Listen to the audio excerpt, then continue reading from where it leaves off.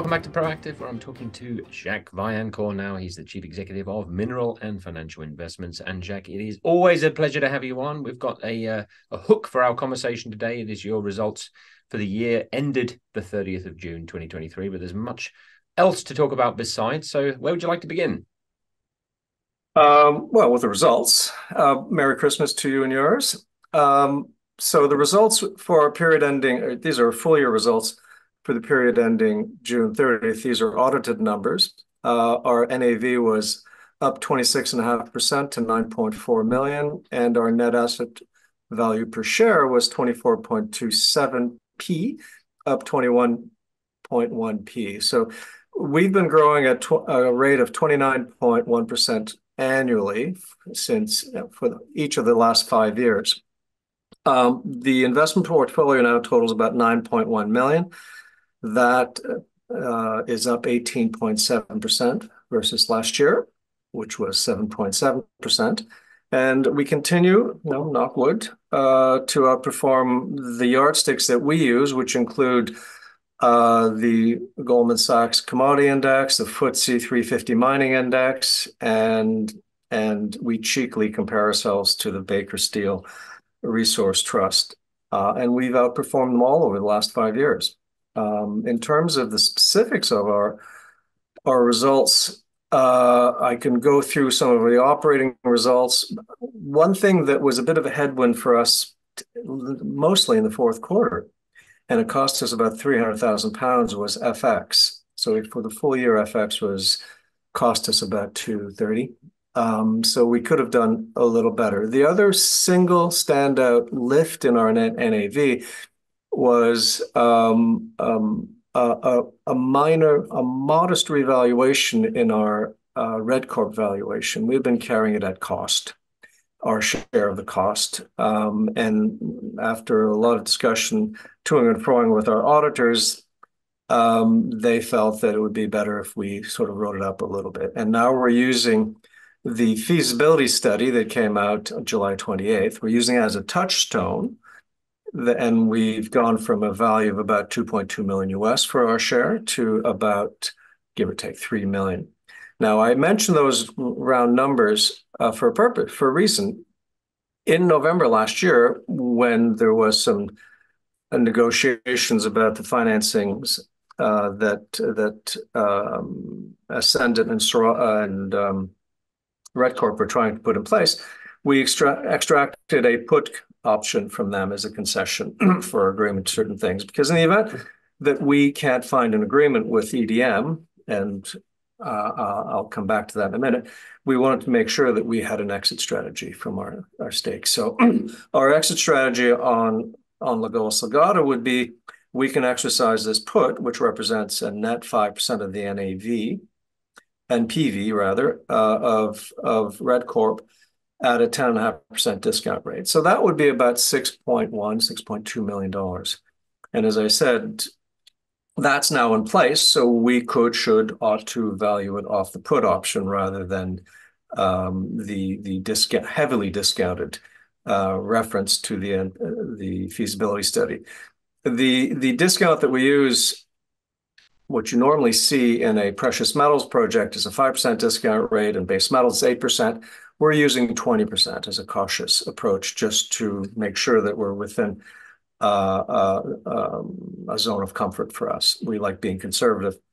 Um, so that that was a standout um, in that it added added uh, meaningfully to our. I think our NAV would have been flat without that revaluation. It was warranted, but but I like I like keeping value sort of in our back pocket that for rainy days, and 2023 was a pretty rainy year. Uh, in terms of our overall uh, composition, just to touch on some of the the references that we look at. I mentioned um, Baker Steel, but we also look at global stock indices, and the only one that outperformed us in the 12 months ending June 30th was the Euro Stoxx 50, which was up 27.3%. The um, breakdown of our portfolio is that we're still 8.2% cash, so about 800,000 pounds, Precious metals are about 3.8 million pounds or 39.2%. Base metals uh, also about 3.8, so also about 39%. Food, energy, tech, miscellaneous uh, is 12.5, excuse me, 12.5, and diamonds are. We took a bet on diamonds during the um, Ukrainian-Russian conflict, and and it was a small bet, uh, and it's um, uh, become a slightly smaller bet. Um, so it hasn't hurt our performance. It's 0.6% of the portfolio, but we thought we thought it would do a little better than that. Mm. So that's probably our our principal source of shame this year. Excuse me. Um, the strategic portfolio year-over-year is up 35%-36%. Tactical is down 1.5%. Our cash holding, as I said, is 800,000. It's up 65%, so our overall performance is up 26%. Um, and in terms of our strategic investments, that we've added a few things this year. Uh, we added a small position in a company called Digbee. I find that to be a cool name. Uh, Digbee is is the leading uh, ESG auditing firm for the mining space. It's quite a specialized space. Everyone is is highly focused on ESG. Everyone wants uh, clean clean and responsible mining. And I and, and in fairness, the industry, since I've been involved with it, has been exemplary, but but we we live with the sins of our fathers. Um, and and the perception of the mining industry is poor, and uh, a firm like like uh, Digbee can provide validation, objective validation, that the industry is performing uh, not only responsibly, but I'd argue that most most senior executives of mining companies and geologists are outdoorsmen and environmentalists. So it's a it's a str- it's a strange environment where people who are care most about the the environment are often tarred with with that. So that represents about 1.6% of the overall portfolio. Another one of our uh, investments that's doing reasonably well is Golden Sun. Golden Sun is now the leading uh, mining company in Costa Rica. Uh, it has had a very small mine that the objective had always been to increase its production to about 400-500 tons per day off the 1 million-ounce resource they have. They're on their way. Uh, they should be in commercial production by the end of February 2024, so in three months, two and a half months. Um, so that's all on track. That represents 13.1%. But as we've moved along with our investment, and we made follow-on investments with Golden Sun, excuse me, Golden Sun, uh, they they have also helped surface and segregate some value. So we now own a portion of a royalty on uh, the Bellavista mine, Mineral Financial. Uh, they've spun out their exploration portfolio, which is something called TerraSun, and, uh, as I said, the royalty. So, it's done well, but I think over the next twelve to twenty-four months, we'll be urging the company, and I think the company is sympathetic to our pleas, that we have to surface the value. By that, I mean monetize it, but through some sort of RTO, an IPO, or or a a sale of the asset. The other the other big investment we made this year was Luca Mining.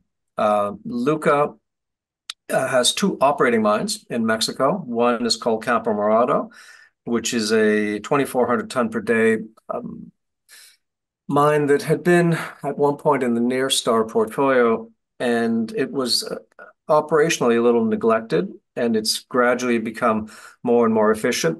Um, the management of Luca have updated the market, stating that they found new flow.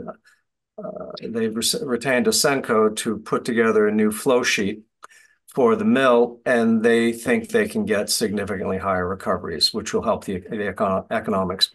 But the second, in my mind, are arguably Uh, more important development is that, you know, they're not only running the company well, but they're going to get Hueco, their second mine, up from 350 tons per day to 1,000 tons per day.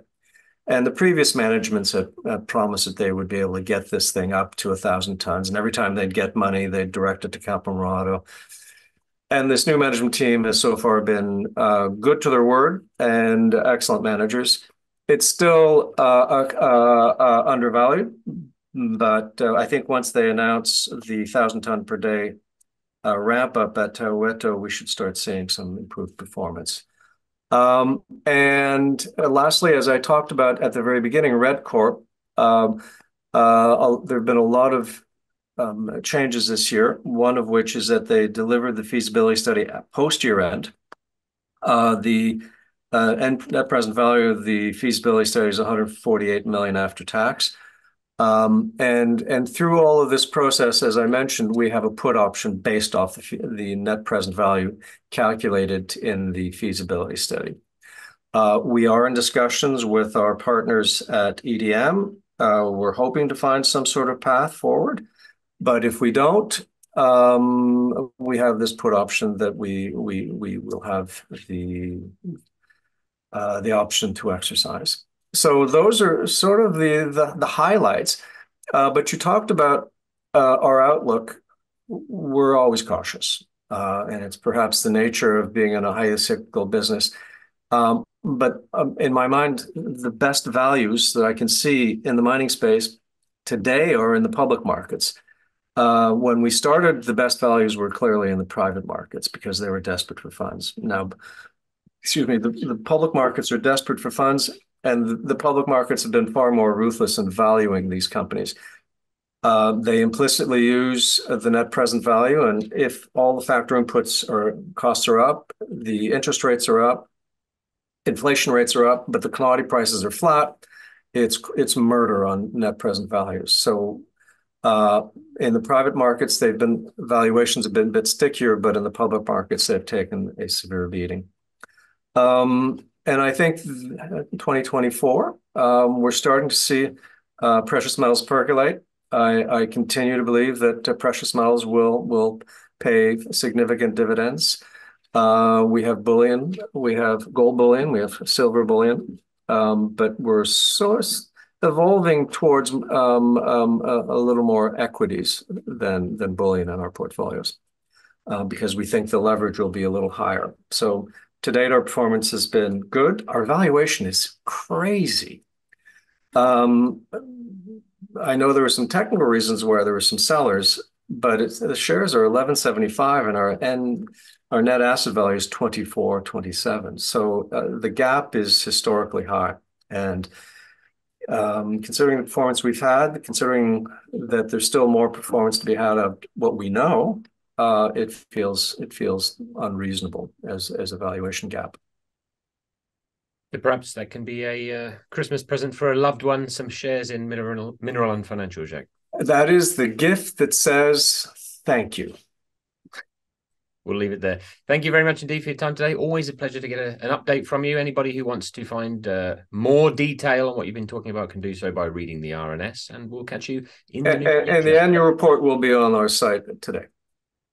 Fantastic. All right. All the best till next time. Thank you, Tom. Be well.